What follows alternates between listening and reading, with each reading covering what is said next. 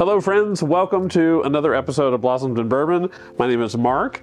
I'm the owner here at Creative Occasions. Welcome to my workroom. Um, you know, as is the custom with our episodes here, we do a look into flowers and into bourbon.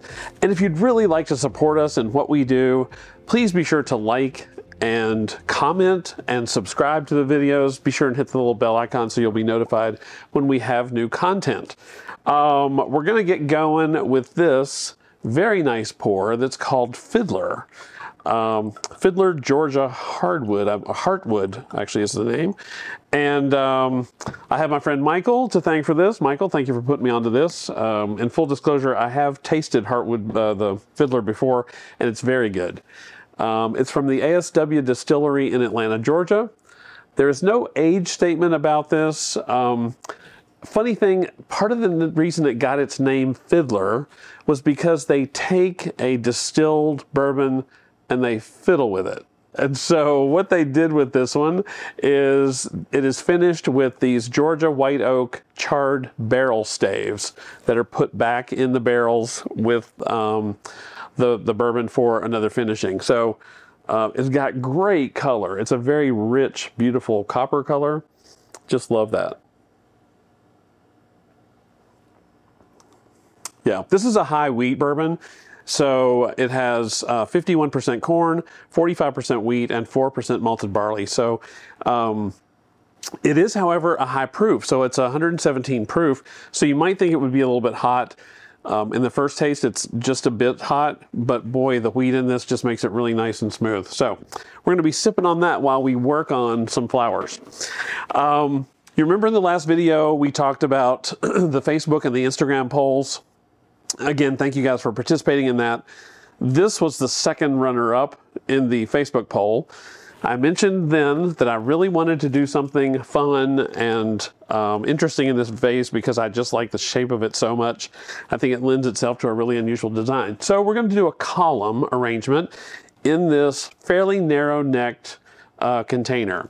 And part of what's going to be the structure and the mechanic is this bundle of birch branches. Um, they came in pretty tight, so I've just pulled them apart, put a little space in there. Um, I measured the height earlier so that I could be sure that it's not too tall, it's not going to look like it's going to topple over, um, and reminding you that the rule of thumb for the height of an arrangement is at least one and a half times the height of the container. So one and a half times, we're well at that level and beyond. So anyway, uh, this is going to be cool and I'm, I'm excited about it. I did have a plan for, and I'm going to put kind of a decorative wire element in this. And this is what I've prepped, uh, which is the wire. It's the silver um, Oasis aluminum wire. This is a little bit finer gauge. It's not the uh, bullion, but it is a little bit finer gauge. And I have these pieces of dyed or colored sea glass. And this is a canister that happens to be all in sort of a purple shade. And it's very easy to make a chain like this. I'll show you real quickly how to do it. Leave a little lead at the end. You've got this kind of irregular shape with the sea glass. We're just gonna wrap it around two or three times and then twist it with the two pieces together pretty tight because we don't want this uh, piece of sea glass slipping out. And there you got, it's just nice and secure in there. So then I would move down a little bit, add another piece of sea glass, wrap it into the wire, and continue with that until you have this strand of these little pieces they almost look like beads. And I think that's what I like about this so much is it looks like jewelry. The flower that's going in this arrangement are these beautiful purple iris. So because the iris tend to be a little more delicate, I was concerned that if I put the wire on after the flowers are in the arrangement, that the wire might damage the bloom. So what we're gonna do is we're gonna tie this in first, just literally gonna tie the wire around to the top of one of these branches. And then we're just gonna kind of let it meander along through the branches.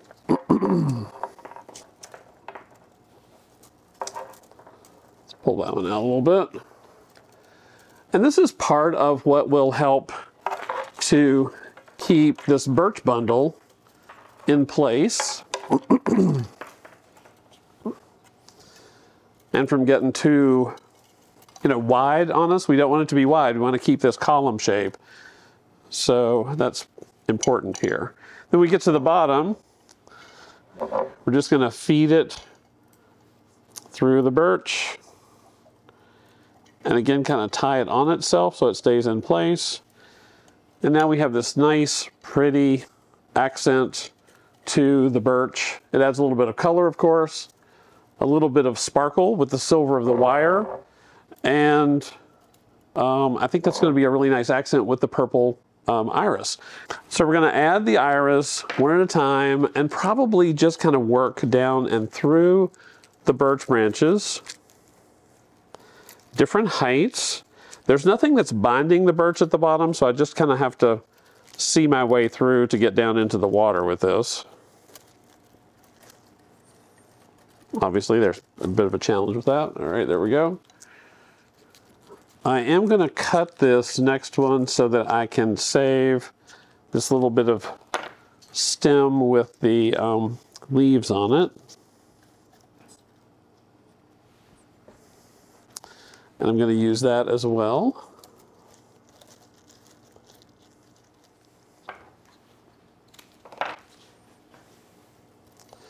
I kind of want the iris to visually move your eye from the top of the arrangement kind of in a spiral coming down and around. So that's kind of the plan. Did you catch that? I just moved those branches apart, stuck that bloom in there so it stays in place. And I'm probably not going to need more than really about five of these blooms. I'll tell you what I'm going to do. I'm going to move this one. He's too short for right there.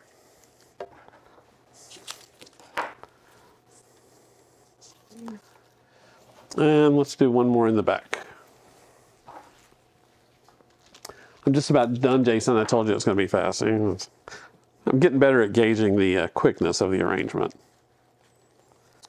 These birch branches, this bundle or this kind of loose grouping of birch branches, almost are acting like a kenzan, like you would use in um, Asian floral design with an ikebana style, uh, because there's a bundle of like sticks that you're using as the mechanic to hold the floral material in place.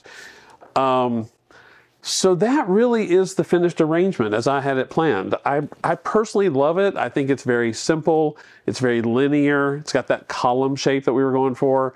A little bit of almost like jewelry that we've added to the arrangement with the silver wire and uh, the sea glass. Um, the blue and the purple in the flowers, my intention was to pull off the blue of the of the vase. So there would be some connection to the vase. And again, because this shape is so unusual, I wanted to keep this really, really simple up top. Um, let's just have another sip of this while we're at it. Yeah, there's a nice bit of uh, cinnamon, a little bit of sort of a toffee um, on the nose. Cheers, sir. Yeah, and definitely a little bit of an orange flavor maybe in it. Again, the caramel. Uh, it's just a really nice uh, sipping whiskey. It's just um, a very smooth, even though it is high proof, uh, the wheat makes it uh, a little bit smoother and, and really awesome. So Michael, again, thank you so much. I appreciate that. It's going to be one of my favorites, I'm sure. Um, I understand it may be a little bit hard to find in our local area, that uh, it's based in Georgia, in a distillery in Atlanta, Georgia. Uh, but anyway, go find it. Go ye forth and find this because it's good. Um, I hope you enjoyed this column arrangement um, and me kind of uh, featuring the new container that I got. Um, it's been so much fun. Again, please remember to like and subscribe to the video. We'll be back again soon with uh, some more fun with flowers and bourbon. And until then, cheers to you and to flowers every day. Thanks for joining.